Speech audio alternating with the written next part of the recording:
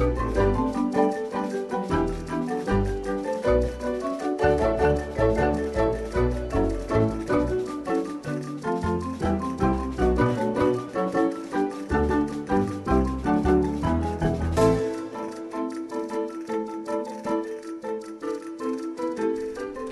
Hola, benvinguts i benvingudes a la Talaia. Aquests dies el ciclisme torna a estar d'actualitat arran de l'inici del Tour de França. Segurament les eh, clàssiques transmissions estiuenques mm, del Tour han fet néixer alguna vocació, ja sigui del ciclisme com a esport, com a forma d'oci, o de la bicicleta com a moda de transport. Amb el bon temps, passats els rigors de, de l'hivern, la presència de les bicicletes al carrer es multiplica, si bé hi són presents cada vegada amb més nombre i més freqüència. Aquesta major presència fa més evidents tant, tant les bondats com els riscos de les bicis. I és que si per un, un cantó contribueixen a disminuir el trànsit, la contaminació i el soroll, per l'altre són protagonistes de certs problemes de convivència tant amb els cotxes com amb els vianants. Avui, doncs, parlarem de les bicicletes i de molts dels temes eh, que porten associades. La seguretat en el trànsit, els carrils bici, la normativa, el bicing, els comportaments inadequats a vegades dels propis ciclistes o dels conductors d'altres vehicles. En parlarem amb els nostres convidats, que avui són la senyora Susi López, que és directora de Serveis de Mobilitat de l'Ajuntament de Terrassa. Benvinguda. Benvinguda. Gràcies. El senyor Aritz Ferrando, que és president del Bici Terrassa Club. Benvingut. Gràcies. I finalment el senyor Jordi Escursell, que és gran afeccionat a la bicicleta i director del programa A ritme de pedal, que Televisió de Catalunya va emetre ja fa unes quantes temporades. Benvingut també. Hola. Uh, senyor Ferrando, sovint ens referim als ciclistes com si fossin un col·lectiu homogeni, però la mm. veritat és que no n'és gens d'uniforme, no? Trobem molts perfils diferents de gent que utilitza la bicicleta. Sí, efectivament, sí, sí. Tenim, la bicicleta pot, ser, pot tenir un ús esportiu, un ús molt, molt urbà, i dintre de l'ús urbà doncs, trobem gent que ja té molta experiència anant en bicicleta i per tant ja, ja coneix com, com circular i, i sap, sap situar-se no, a la calçada i ara ens trobem molta gent que surt nova, o sigui que, que és positiu, que s'ha engrescat per provar la bicicleta, però que potser ningú li ha explicat com circular i potser pues, fa algunes coses que de moment doncs, no, eh, pues, les ha de millorar. No? Uh -huh. I per això aquí estem, l'associació intentem, doncs, eh, en totes les ocasions que tenim, d'arribar a la gent és a transmetre bons consells a l'hora de circular, que, perquè sigui un èxit, o sigui reeixida no? l'experiència d'anar en bicicleta per la ciutat. Uh -huh.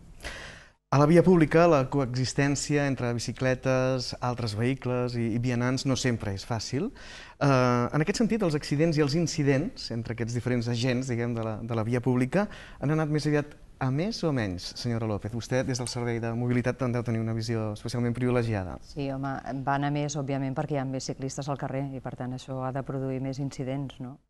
El que passa és que també el, el tipus d'accidentalitat que es produeix és una, una sinistralitat amb, amb poca lesivitat, diríem, no? perquè les bicicletes van més lentament, perquè és un tipus d'accidentalitat que és eh, el ciclista, al ser tan poc present als carrers, és més visible també, per tant, clar que hi ha més accidents. Òbviament, si hi ha més bicis al carrer, s'han de produir més accidents. Mm -hmm.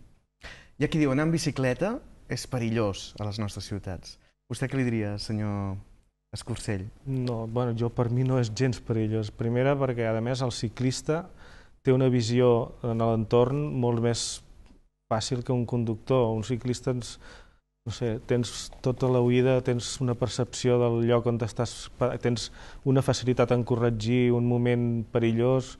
Vull dir, tampoc és tan greu anar en bicicleta, és molt, molt agradable. I jo no li veig perill. O sigui, és... A vegades el perill pot venir més per part dels altres vehicles, no? Bueno, però dins de la ciutat hi ha convivència, sí que, no sé, jo no li veig perill, la veritat, és qüestió d'estar-hi de, i de passar per llocs alternatius, no buscar les zones més transitades de vehicles. També la, el ciclista ha de tindre una mica, d'escollir ell la, la seva comoditat i la seva seguretat. Uh -huh. El que, el que també és veritat és que és veritat que ara havent-hi més ciclistes potser hi ha més punts de conflicte. Jo crec potser més amb temes dels vianants, o sigui, eh, ciclistes que no, no estan acostumats a anar per la calçada i van massa sovint per la vorera on no toca, no? Però jo crec que al, al contrari, jo crec que més ciclistes que, va, que, que van per la calçada al final repercuteix en més seguretat per, pels ciclistes, perquè vol dir que el cotxe ja s'acostuma a veure un ciclista, un altre, un altre, i aleshores accepta molt més la presència de la bicicleta i és més fàcil la cohabitació. Per tant, d'alguna manera, eh, els que hi anem en bicicleta ens interessa que hi hagi més ciclistes perquè tota la ciutat es, estigui més acostumada a veure, els, mm. a veure els ciclistes a les calçades. El camí passa per treure les bicicletes de les voreres? Ara a Barcelona s'està obrint un debat bastant important mm. sobre això. Sí, sí, sí. Home, eh, a veure, òbviament les bicicletes és que no poden circular per les voreres i a dia mm. d'avui la normativa actual ja no permet que circulin per voreres. Si són amples, tampoc? Tampoc. tampoc. O sigui, la bicicleta és mm. un vehicle i amb la seva consideració de vehicle, segons el reglament de circulació, ha d'anar com el vehicle, que és per la calçada o pels carrils bicicleta que puguis tenir habilitats en una vorera. Eh? Uh -huh. O sigui, si és un carril bicicleta, després sí que pots anar per la vorera. Per tant, per la, per la vorera, que quedi ben clar que no es pot circular en bicicleta. Mm. Clar, s'entén que en determinades circumstàncies, doncs, a lo millor un nen doncs, utilitzi la vorera i per tant hi ha certa tolerància amb aquest tipus de, de conducció sobre vorera, però un adult no està justificat que vagi per la vorera. Llavors, eh, sobre el que deies de la conflictivitat, potser la conflictivitat que més notem nosaltres és la que està relacionada entre el vianant i el ciclista, especialment a les illes de vianants. Uh -huh. eh? O sigui, a la illa de vianants doncs, tenim determinats carrers, com per exemple el carrer Sant Pere, que és un carrer en el qual no es pot circular en bicicleta, però eh, bueno, hi ha gent que l'utilitza com un circuit eh, per anar en bicicleta, igual que el carrer Fontvella. No? Són carrers que vam tenir que regular perquè no circulessin les bicicletes mm. perquè realment que, eh, acaben creant un conflicte ah. amb el vianant. Hi ha molta hi ha densitat, molta densitat no? hi ha molt comerç, mm -hmm. la bicicleta a vegades no és conscient de que encara que vagi a una velocitat baixa, doncs una persona surt en un moment donat d'un comerç i, per tant, sense voler pot tenir un incident. Per tant, aquí sí que notem queixa ciutadana, eh? sobretot mm -hmm. a la illa peatonal de determinats carrers que hi ha molta densitat de gent i que, per tant, poden crear conflicte. Mm -hmm. Però amb voreres sí, sí que hi ha queixes també, però diria que la més important és la, la que notem al centre de la ciutat, a la illa. És que suposo que hi ha perfils i perfils de ciclistes. No? Moltes vegades potser aquells que són militants de la bicicleta i que la viuen gairebé com una forma de vida, oh. sí que deuen ser molt respectuosos, però potser hi ha molta gent que no té aquest mateix perfil i que agafa la bicicleta que no té en compte aquestes coses. Senyor Escursell, com, com ho veieu, això? No, no sé si hi ha perfils per definir això, eh? perquè hi ha, mm. hi ha situacions que et trobes amb una bicicleta i tampoc tens que allò no pots circular, també baixes a terra, baixes peu a terra i camines, no? Jo no sé si identificar-ho com a perfil eh, de uh mhm. -huh. persona, perquè un, un d'esportista pot ser igual de respectuós i anar per dins de la ciutat amb un altre concepte de la bicicleta. O pot, jo crec que els perillosos potser és el jovent, que va una mica es, es, que juga no, amb la bicicleta que, i no, no hi és conscient d'això. Jo en el tras, els trams de zones peatonals jo votaria perquè hi hagués més llocs on deixar les bicicletes i que el ciclista eh, circulés caminant per aquella zona. Però clar, no tens llocs per, habilitats per guardar una bicicleta, que això per mi és... Quan entres a una zona peatonal hauria d'haver uns espais habilitats per deixar la bicicleta. Mm -hmm. I... Perquè és que si no trobes que potser has d'entrar amb la bicicleta més endins, que és on trobes el lloc. I hauria de ser en l'entorn on, on és una zona peatonal, el lloc de guardar la bicicleta està al mig. Llavors, aquí hi ha un conflicte, possiblement la deixes a fora i vas a comprar i tornes. No? En el perímetre de la zona... Sí, és, és adaptar-se a les situacions. Uh. -huh. Jo no sé si ara hi ha tant volum de ciclistes com per entrar en aquest tema de, de. -huh. debats. No? Jo primer m'agradaria que, el, que la gent canviés el xip i la bicicleta es anés incorporant, com. -huh. altres països s'ha incorporat. Senyora López, és possible que en un futur proper hi hagi més espais habilitats perquè aparquin les bicicletes? Home, actualment ja en tenim 1.000 places d'aparcaments per bicicletes, uh -huh. eh? el que passa que a vegades no les veiem, eh? o sigui, estem, eh, moltes vegades ens diuen a l'Ella Pedalon no hi ha zones d'aparcament, home, si n'hi ha, hi ha, per exemple, al carrer Gaudí, tu entres i hi ha unes barres de bicicletes que no les -huh. utilitza mai ningú, i també ho entenc, perquè si tu agafes la bicicleta és perquè t'agrada poder arribar de forma ràpida al teu destí final. Per tant, eh, demanar que la gent deixi la bicicleta a l'entrada de la illa peatonal, quan a dia d'avui encara es pot circular per la illa peatonal, a excepció dels dos carrers que hem parlat abans, vols acabar el teu trajecte pràcticament eh, en el teu destí final. No? Per tant, costarà molt acostumar la gent de que has de deixar-ho a les entrades de la illa peatonal i acabar l'últim recorregut a peu. Potser algun dia arribem a fer-ho, perquè per Europa s'està fent. Hi ha illes peatonals que no es pot circular en bicicleta, però en una ciutat on la mobilitat de la bicicleta és tan incipient, si ja comencem posant barreres, Creiem que primer hem de deixar que es consolidi l'ús de la bici i arribarà un moment que potser sí que s'ha de restringir a la illa peatonal i en aquestes entrades facilitar l'aparcament. No? Mm -hmm. A dia d'avui sí. vols arribar fins a, al comerç, fins a la botiga. No? És que l'energia ara s'ha d'aplicar a que la gent li vingui de gust anar en bicicleta. Si li posem traves, i Clar. tots són normatives Mm. i tots són impediments, i és que el ciclista, i és que el ciclista, doncs ningú va fer la bicicleta. Hem d'anar al revés, eh? hem d'aplicar, i quan, hi hagi, quan en siguem molts, doncs ja haurem de regular això, però ara de moment per quatre tampoc eh, és que és un debat Mhm. una mica fluix. A les facultats d'Economia es parla molt d'un concepte que és el de l'externalitat positiva, és a dir, Mm. eh, efectes positius que hom rep sense haver-hi contribuït ni econòmicament ni amb l'esforç. Mm. Podríem dir que, en segons quina mesura, la bicicleta provoca alguna externalitat positiva en el sentit que ajuda, com dèiem en començar, a que no hi hagi tanta con- contaminació, que el trànsit sigui una mica més, més fluid. Mm, Per tant, sembla que s'hauria, des de les administracions, afavorir al màxim el seu ús. S'està fent prou això, senyor Ferrando? No, no, no, No. no, prou. O sigui, s'està fent molt i s'ha de felicitar el que està fent, però jo crec que s'ha de fer molt més. Eh? I sempre engresquem l'alcalde, que sabem que està molt eh, disposat, Sensibilitzat. sensibilitzat amb Mhm. el tema de la bicicleta, però creiem que s'hauria de fer molt més en el sentit de que jo crec que el, aquests ciclistes que comencen... a- Actualment a Terrassa tenim un 1% més o menys de desplaçaments que es fan en bicicleta, que és molt poc. Bueno, Barcelona està a l'1,5, o sigui, està dintre de lo normal. A Espanya és, és molt poquet, però quan mirem altres països estan al 10, 15%. I fa poc un expert de Suècia predeia que aquí a Terrassa, per la, el tipus de ciutat que és molt compacta, podíem arribar perfectament al 15% de desplaçaments en bicicleta. Per tant, per arribar a aquest 15%, vull dir, ja, hem de posar recursos, hem de fer sobretot molta promoció, perquè la ciutat està molt consolidada, és una ciutat que, que es presta molt bé, o sigui, no cal moltes infraestructures dintre la ciutat, perquè ja són carrers que són molt tranquils, o sigui, és... de fet, en aquesta guia de la bici ja mostrem els carrers bici que hi ha, però també mostrem tots els carrers que són recomanats per anar en bicicleta, i són carrers de, de cohabitació on compartim l'espai amb els vehicles. No?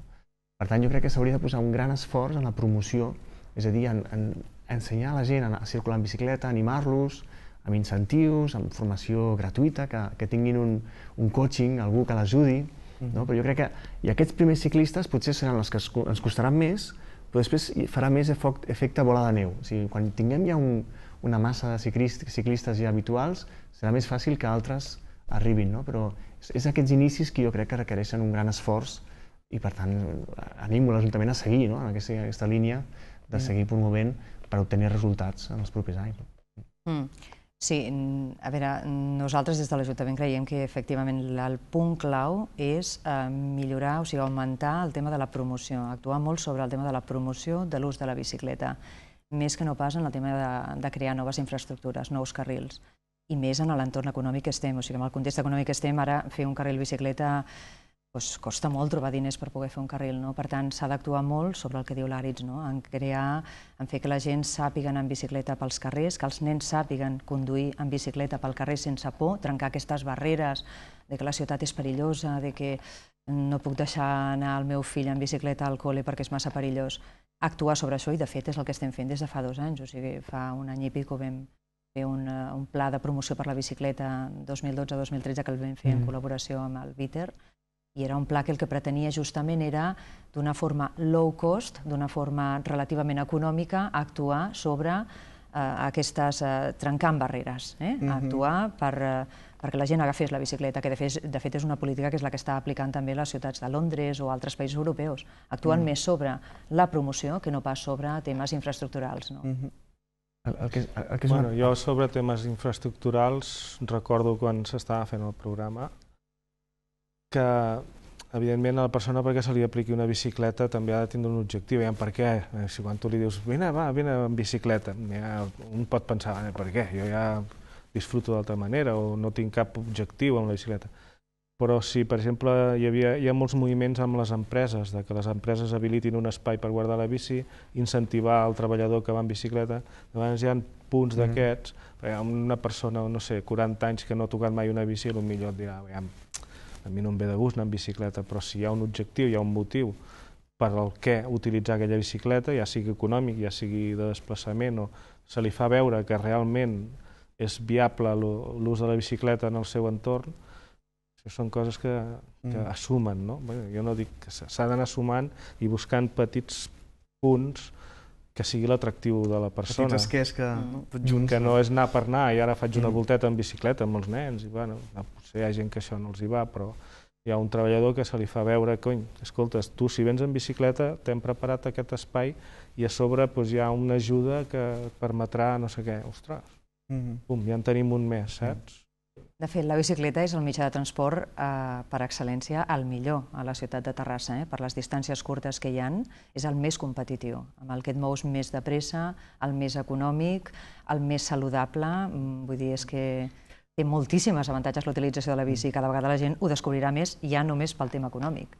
Del punt de vista econòmic és que no té color, no? Però en canvi Terrassa està plena de, de pujades i baixades, sí. no molt pronunciades, però n'hi ha. Correcte. I els carrers són estrets, eh, hi ha molts cotxes circulant. Ja. Això eh, té un cert efecte dissuasori també, Sí, per la gent cert, que no hi estem acostumats. És cert, No? és cert i també s'utilitza com a excusa a vegades. Eh? Ja, És cert, sí. això que dius, Sí, sí, sí. però també és cert que a dia d'avui que hi ha les bicicletes elèctriques, eh, això ja no seria un problema. O sigui, si dius, mira, és que jo ja no estic tan en forma, o jo és que no vull suar, i jo és que vaig a la feina i per tant anar en bicicleta ara arribaré suat, bueno, hi ha les bicicletes elèctriques a un preu mm, molt competitiu i per tant dius, home, la bicicleta elèctrica és idònia per eh, determinats col·lectius, per determinades persones.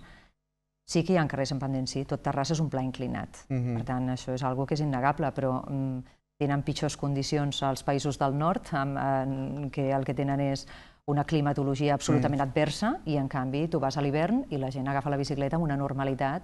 Per tant, allà tenen el clima, aquí tenim el problema del pendent, bueno, doncs no sé què és pitjor, no? Però això no, no ha d'impedir que, que, que el, el nombre d'usuaris creixi i creixi molt, perquè estic convençuda que creixerà molt els propers anys.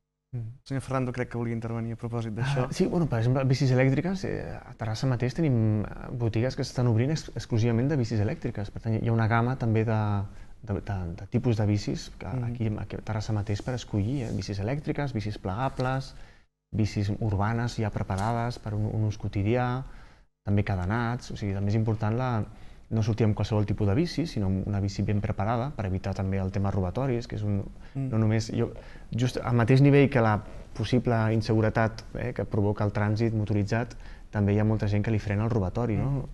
I seguint uns consells, que és el que donem quan ve un ciclista nou, li diem, mira, compra't aquest cadenat, aquesta bici la lligues així, pam, pam, pam, i amb aquests consells ja pot, pot estar bastant tranquil, eh? o sigui, no, no és infal·lible 100%, no? però amb una bona autoprotecció el tema robatoris també el tens bastant solucionat. Potser tenim un problema afegit en aquest país, i en general en els països de caràcter llatí, i és que potser tenim poca cultura de la bicicleta encara, i a vegades som molt intransigents amb els ciclistes, els, els automobilistes, per exemple, i a vegades el que veiem un ciclista ja el veiem directament com una molèstia, i a vegades eh, se'l pot arribar a increpar i tot. Mm. Um, aquí hi ha molta feina per fer també, de, de, de sensibilitzar, de, de donar a conèixer als automobilistes doncs, que, que, que els ciclistes tenen uns drets i que s'han de respectar. Sí, sí, sí. Això serà una barrera també important. Eh? El conductor pensa que el ciclista no ha d'anar per la calçada, que l'únic que fa és emprenyar i que s'ha d'apartar i deixar-lo passar. Mm. I s'ha d'entendre doncs, que en el 80% del viari que tenim a la ciutat és un viari de, de, de barri, un viari, un viari secundari, no? un viari de, de carrers de barri, on la bicicleta ha d'anar pel centre de la calçada. El que no podem és forçar-la a que vagi per una banda i adelantar-la en qualsevol eh, punt, perquè és, és absolutament insegur. O sigui, la bicicleta té tot el dret a anar pel centre de la calçada i el vehicle ha d'anar a darrere i quan la bicicleta eh, consideri adequat doncs ja girarà o, o, mm. o farà el que consideri oportú, però té tot el dret a anar pel centre de la calçada i això la gent no ho sap i es pensen que, que, que no, que és que no, no té per què anar per allà. Inclús a vegades et veuen amb un nen petit i sembles com un irresponsable no? per anar amb un nen petit. No, té el seu dret i, i hem d'entendre que també tenen el, el, el seu... Que, que també és un espai per ells. No? Mm -hmm. Bueno, jo, en aquest cas, el ciclista també en- ens hem de, de mentalitzar i hem de demostrar-li al conductor, al ciclista, de que som respectuosos amb ell també. Llavors no pot ser, si està molt bé anar pel mig, però en el moment que tens un espai i Mm. el cotxe et pot avançar, doncs el ciclista de passa ara que jo em puc apartar i tu pots passar. Si ells veuen una actitud positiva del ciclista que també veu, valora que està en algun moment la sensació de que està molestant, que no és aquesta, no hauria de ser aquesta la sensació, mm. doncs el comportament del ciclista és important. És que jo crec que també hi ha hagut un comportament ciclista erroni que això ha anat increpant, increpant, i llavors mm. ja s'ha creat aquesta figura, no? En el cas de la carretera, jo, clar, estic a la part esportiva, els entrenaments, que si s'ha d'anar en parella, si no s'ha d'anar en paral·lel, eh, hi ha gent que n'abusa, hi ha ciclistes que abusen d'aquest comportament, van en paral·lel, però van en paral·lel molt apartats i no ajuden al conductor mm. a, a, fer l'adelantament. No col·laboren si, hi ha, si és un impediment de carretera que és molt corbada, el ciclista també ha de ser conscient de que ell va més lent i en algun moment li ha de donar l'oportunitat al vehicle. Llavors, jo penso que el ciclista té un paper mm. molt important. Eh? El, el que hi ha ara actual per anar conscienciant el conductor. Deixem-ho clar, això que ara vostè deia. Estem ara potser aprofundint molt en un tema concret, després ja reprendrem el fil general del programa. En cas d'avançament en carretera, els ciclistes no tenen l'obligació de circular necessàriament en fila índia, perquè hi ha conductors que encara pensen que això és així. No, no, aviam, i a més la fila índia sí que es pot, clar que es pot circular en fila índia, no es pot circular en paral·lel. Uh mhm. -huh. La normativa diu que es pot circular en paral·lel eh, sempre i quan la carretera tingui la visibilitat suficient perquè el cotxe et pugui avançar, uh mhm. -huh. que és el cas de que quan no és així el ciclista ha d'intentar anar en fila d'índia. El problema d'anar en fila d'un en un és que tampoc es pot fer en grups, o sigui, al, al conductor li és més fàcil avançar a sis corredors, a sis, entre, gent que, eh, estic parlant de competició, sí a sis ciclistes de, que estan a la via interurbana, si van en paral·lel, ocupen menys espai i és més fàcil avançar. Vull dir, mm. el ciclista és el que ha de valorar, segons el grup que va, o si va sol o si van en dos, quina és la mm. millor fórmula per no molestar el trànsit. I un cotxe s'hi ha d'avançar en una via interurbana, no. unes bicicletes, i ha de respectar la distància... El metro i mig ditxó. Hi ha una línia contínua? La pot avançar, la pot trepitjar perfectament. Pot trepitjar la línia contínua. Sí, això sí, també és un element que això no ho sap la gent, conegut, eh? no ho sap la gent i a vegades mm. li dones pas a un cotxe que veus que fa rato que va al teu costat i tu li dones pas i ell no t'avança i dius, ja, com li dic ara a aquest senyor que ell pot trepitjar yeah. la línia contínua, mm -hmm. no? Mm -hmm. Això es fa en manca d'informació, tampoc no s'està sí. informant suficient d'aquests temes. Eh? Mm -hmm. Parla molt d'ara, hi ha una falera en parlar del metro i mig, que està molt bé, metro i mig, que si un dia et passa un cotxe i mig metro tampoc passa res. Els mm. ciclistes ja hi estem acostumats, yeah. que tampoc és que sigui allò, oh, és que no m'ha respectat el metro i mig. Doncs pues jo què sé, mm. no anàvem sí, sí. amb la varilla a, a mesurar, no?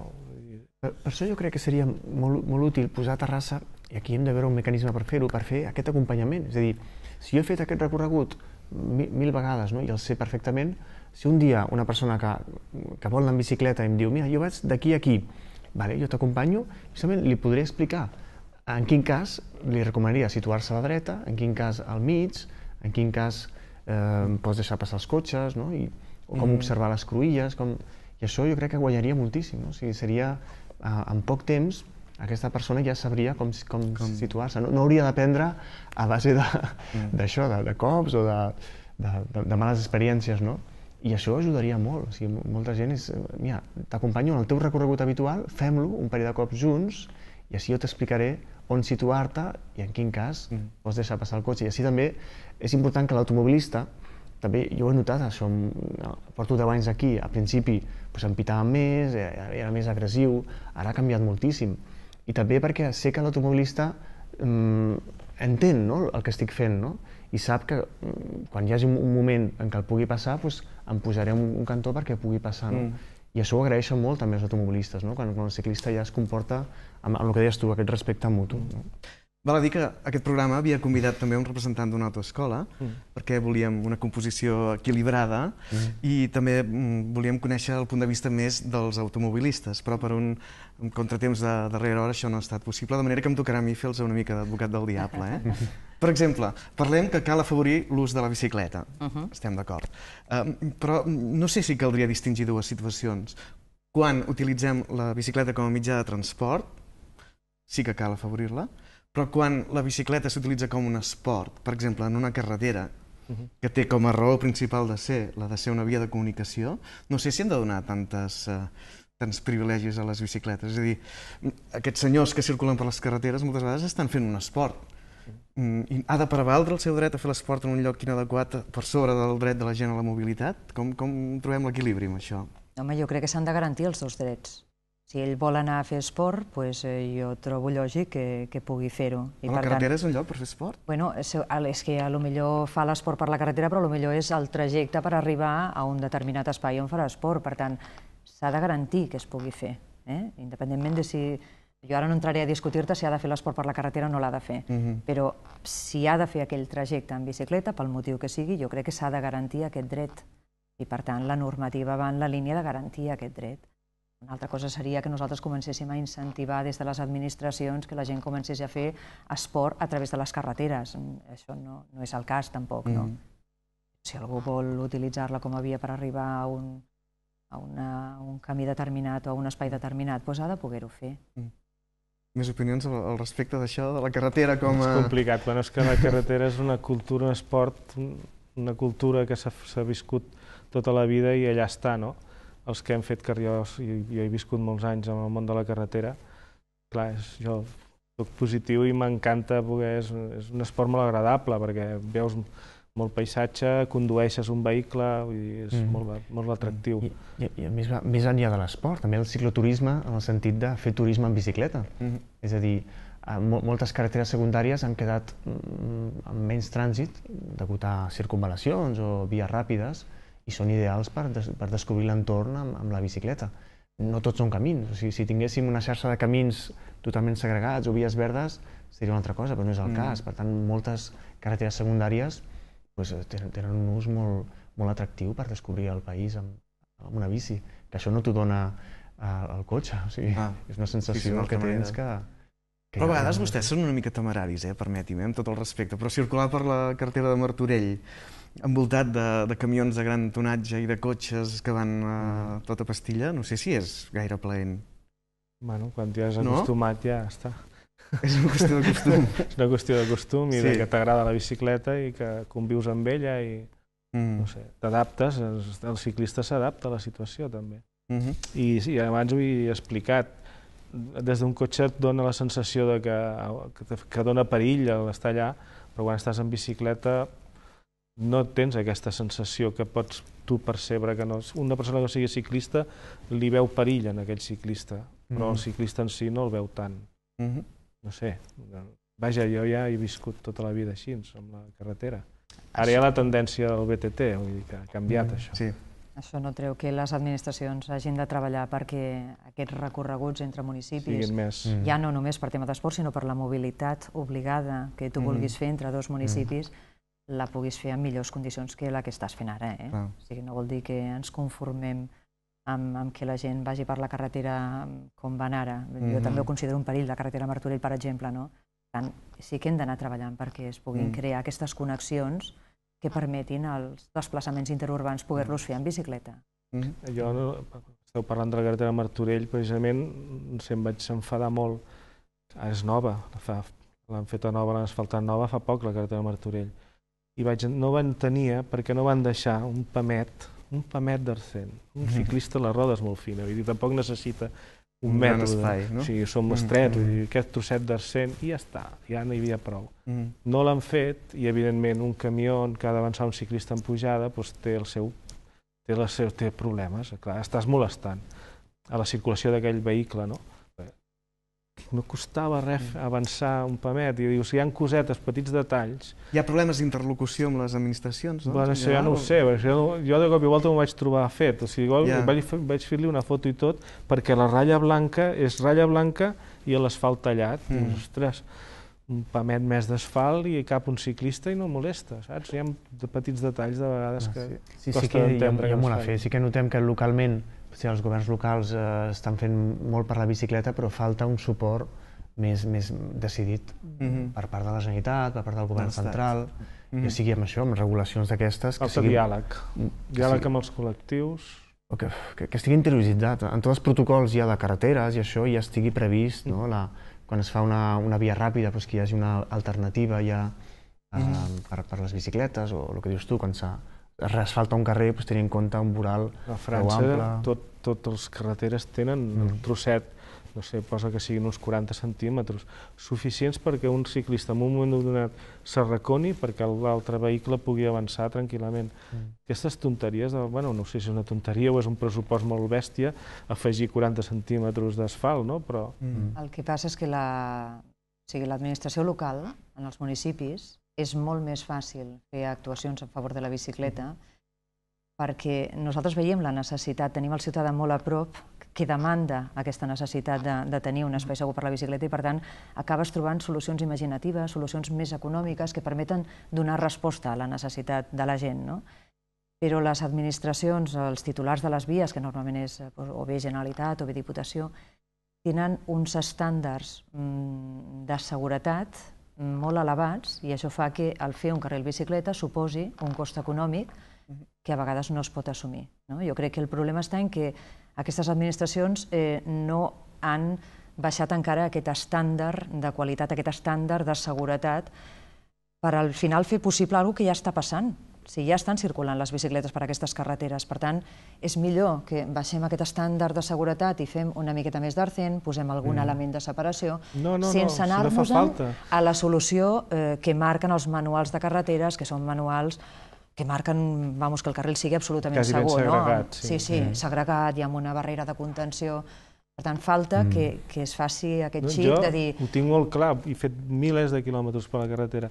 És un trosset d'arcent, és suficient perquè el ciclista, ni, ni el conductor ni se n'adoni.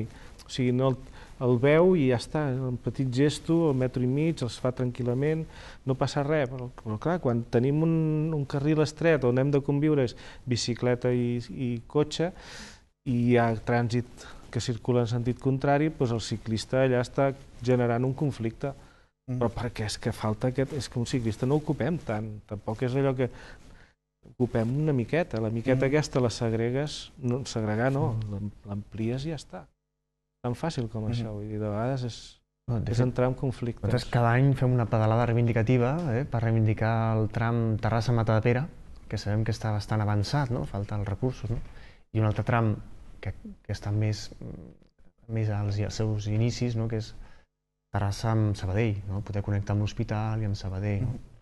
I aleshores, bueno, doncs no deixarem de reivindicar-ho no? per, per poder anar... Ja, el tram aquest que dius Terrassa Matadepera fins al, a la Cruïlla que va al, a la ciutat audiovisual, mm. hi ha Arsent. I de cop i volta, quan entres en l'últim tramet, no hi ha Arsent, mm. i aquell tros és estret. Mm.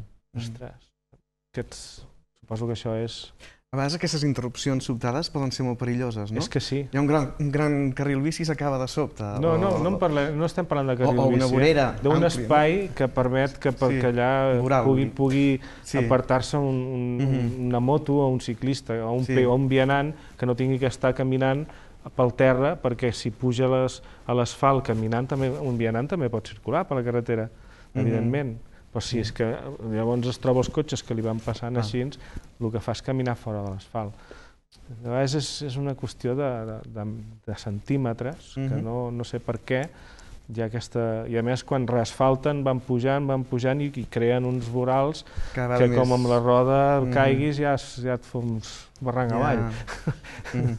El que passa que jo també entenc que quan fas, o sigui, tu estàs fent, per exemple, la carretera de Matà de Pere, no? S'han fet dos rotondes a la carretera de Matà de Pere. Quan es fa el nou projecte a la carretera de Matà de Pere, jo entenc que es prevegui ja el que seria el carril bicicleta en base al projecte global que hi ha de fer tot un carril que connecti Matà de Pere en Terrassa. Per tant, quan es fa l'obra d'urbanització de les rotondes, jo entenc perfectament que es faci el trosset d'itinerari de carril bicicleta, mm. perquè al final les ciutats les vas construint a poc a poc. No pots d'un dia per l'altre dir, bueno, ara faig la rotonda i a més a més faig tot el carril, no? Per tant, mm. queden interrupcions durant uns anys fins que no s'acaba de completar tot el carril, però eh, eh s'ha d'anar caminant a poc a poc, o sigui, mm. no pots abordar-ho tot de cop, no? Mm.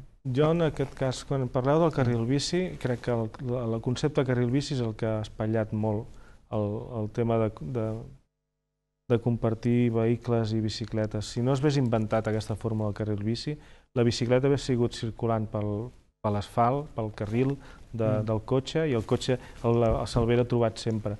El fet de que s'ha vengut que la bicicleta té que anar pel carril bici, reserva, no, el conductor ha assimilat que, el, que el biciclista allà no pot circular. Mm -hmm. I aquí això hem de recular-ho. Normalitzar-ne la presència. Jo sóc anti-carrils no? bici, eh? Yeah. Vull dir, jo entenc que la bicicleta ha d'anar per l'asfalt, per on ha anat qualsevol vehicle que es belluga ah. una moto, com es belluga un autobús, allò és el lloc on es belluguen els vehicles i ja està. I coincideix amb això, senyor Ferrando? Sí, sí, d'alguna manera sí. O sigui, nosaltres creiem que el carril bici només és necessari en vies ràpides, o sigui, vies on els cotxes poden anar a 50 o més, allà mm -hmm. doncs, pot, pot tenir sentit, no? però tret d'això eh, apostem fort per la cohabitació. No? I també per solucions imaginatives, no sé, si algun cop ho hem comentat, per exemple, al País Basc, tenen el que fan molt sovint, i, i altres municipis comencen a fer, que és pintar el carril bici pum, enmig d'una calçada, una calçada normal, eh? Uh -huh. però amb l'únic objectiu de uh, informar els cotxes eh, que el ciclista pot circular per allà, o sigui que aquell carrer no és només per cotxes, sinó també és per bicicletes, però també per animar els ciclistes a circular per la calçada i sortir de les voreres, no? Mm. I per tant són solucions que poden semblar una mica yeah. estrafolàries, però tenen aquest objectiu eh, de visualitzar que a, a, això que diem un carrer una calçada és per cotxes, bicicletes, motos, per tothom, i aquí és on hem d'aprendre a cohabitar, no? Mm. Però per, per què no aquest tipus de solucions més de, comunica de comunicació, de que l'espai és compartit, ah. que, que, més, que no pas d'infraestructura. Parlem del casc perquè mm. ha generat bastant debat aquesta, mm. aquesta mesura, mm. bastanta contestació, hi ha sectors que hi estan en, en acord, altres en desacord. Mm. Com ho veuen vostès, senyora López? Eh, jo malament. Malament? malament sí, sí. Mm -hmm. Des de l'Ajuntament el que s'ha fet és... Eh, L'Ajuntament de Terrassa forma part de la Red de Ciudades para la Bicicleta, que és una xarxa de ciutats que diríem que, que defensen l'ús de la bicicleta, que intenten incorporar la seva bicicleta dintre de, del repartiment modal no? de, de les formes de transport que, que s'utilitzen a la ciutat i des de la red de ciutats ja s'ha fet una, pues, una carta, un escrit dient que, que creiem que no és oportú obligar a l'ús del casc, eh? que és recomanable, i tant que sí, i tant que sí, mm. però obligat no, perquè provocaria immediatament un retrocés en l'increment d'usuaris, que al final és el que volem. Volem tenir cada, cada dia més usuaris de, de la bicicleta. El fet d'obligar-te a posar-te el casc en ciutat eh, seria un retrocés eh, immediat. Per tant, creiem que ha de ser una recomanació, però no una obligació. Mm. No ho fan els països europeus que tenen una tradició d'ús de la bicicleta molt superior i en canvi nosaltres ens volem posar els primers, no? Això és molt típic d'aquest país, eh? Quan ens hi posem, llavors volem ser els més radicals. volem fer-ho eh? perfecte, no? Dius, sí, home, sí. jo si es fes per una, jo què sé, fins als 8 anys encara ho entendria, mm. però que un adult l'obliguin a portar el casc, home, mm, trobo que no, que obligar-lo no, recomanar-li sí. Més opinions al respecte? Bueno, jo crec que la DGT ja s'ha quedat molt sola amb això i, de fet, eh, ara s'està encarrilant al Congrés, una comissió s'està acabant de debatir, però moltíssims ajuntaments, eh, gairebé tots els ajuntaments que estan fent coses per la bicicleta d'Espanya s'han posicionat en contra d'aquesta mesura eh, coercitiva, no? d'obligar a portar casc. Per tant, aquí jo crec que eh, ha quedat molt clar l'oposició a aquesta mesura. Com creu que, que acabarà això, senyor Escursell? Ah, això ja no ho sé, perquè aquí, com que hi deuen intervindre companyies de segurança i interessos, mm. el que vulguis, el que vulguis mm. i més pot passar. Però jo eh, coincideixo amb ella que amb mainada sí que el recomanaria.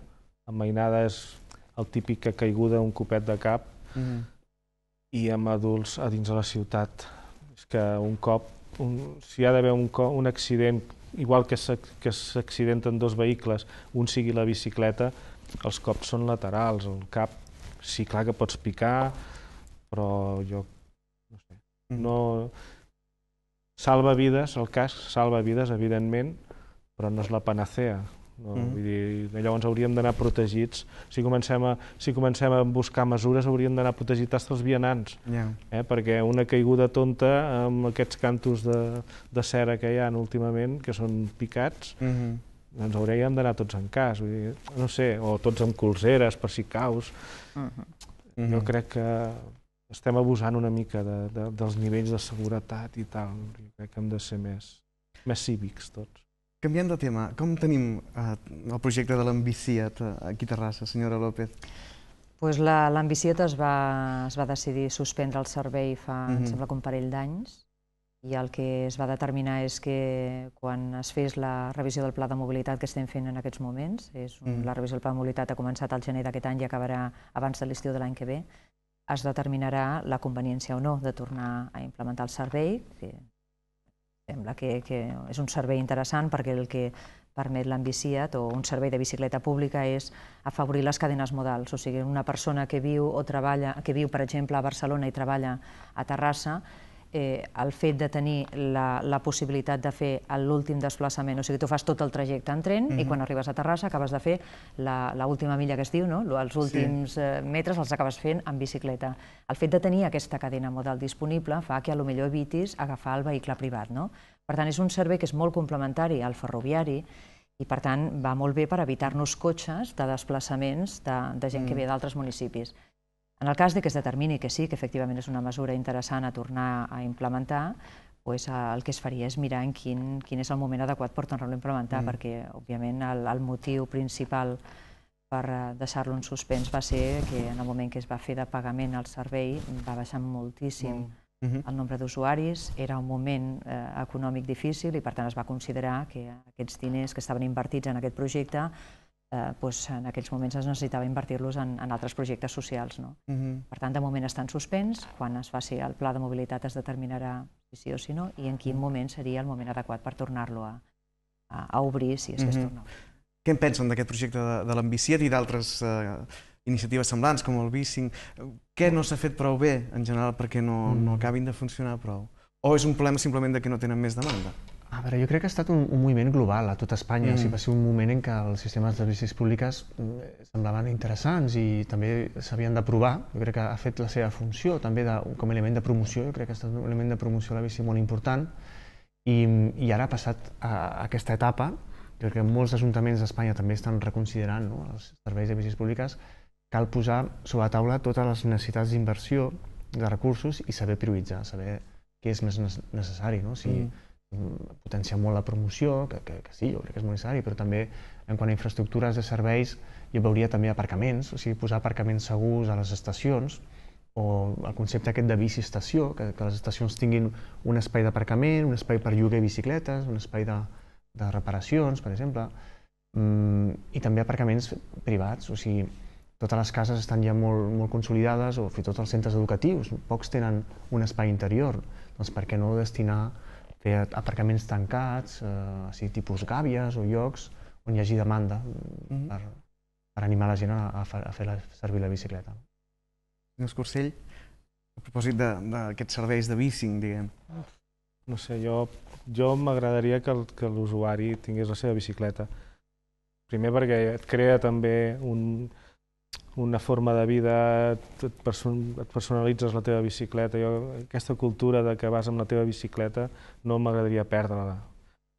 Eh, està bé, o sigui, que hi siguin aquests serveis està molt bé, però doncs, jo sóc de les persones que penso que ha d'haver un lloc on deixar les bicicletes, que els edificis estiguin pensats, que les institucions tinguin un lloc tancat les gàbies no sé si és una mica enfarragós i posar una bici, però si vas a l'Ajuntament que tinguis un espai, deixes la bicicleta dins, fas la teva, el teu tràmit i te'n vas, no?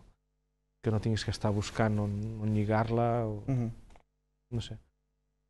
Deixi'm obrir un darrer apartat en el qual segurament ens allunyarem una mica de, del tema central de, del col·loqui d'avui, però que creiem que amb la presència de tantes persones aficionades a, a la bicicleta en el nostre programa val la pena doncs, de, de tractar.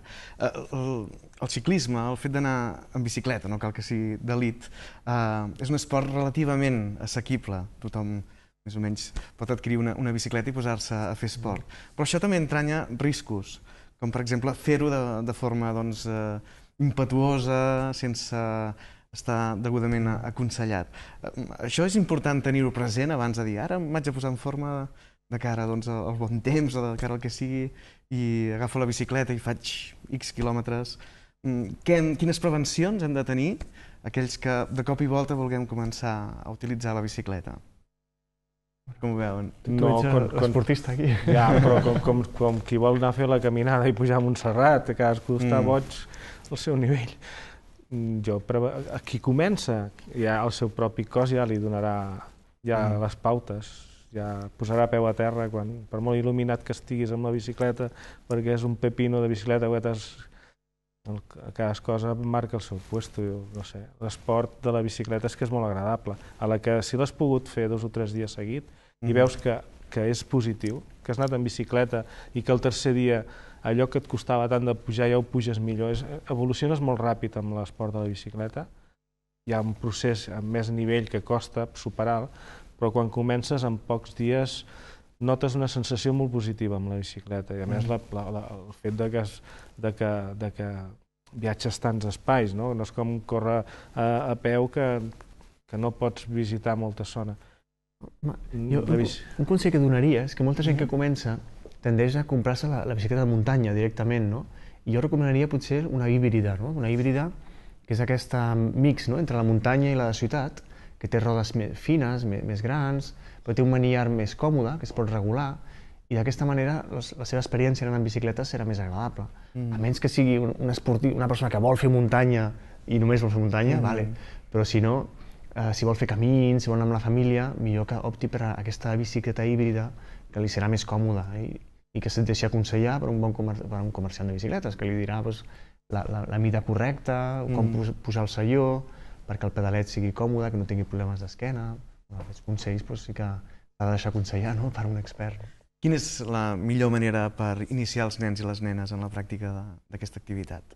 Bueno, doncs primer que no, no fer recorreguts massa llargs, perquè si no mm. acabaran tant els nens com els pares cansadíssims no? de, de sentir-los eh, queixar-se. No? Per tant, ha de ser una cosa tranquil·la, anar començant, per bé paradís, després anar provant, anar buscant aquells camins i aquí podem assessorar nosaltres, no? aquells camins de l'entorn, que tenim l'anella verda de Terrassa, no? que té, mm -hmm té camins molt bonics, començar per aquells més fàcils, perquè hi ha trams que fan molta pujada, però sí que hi ha, per exemple, anar a Torre Bonica, és, és una excursió típica per anar amb els nens, i després el, el pare o la mare ha de saber doncs, com situar-se no? dintre del grup. No? Sempre recomanem que l'adult vagi darrere, no? perquè tingui sempre ben controlats els nens, no, no, no davant, perquè aleshores no, no, no els veus. No?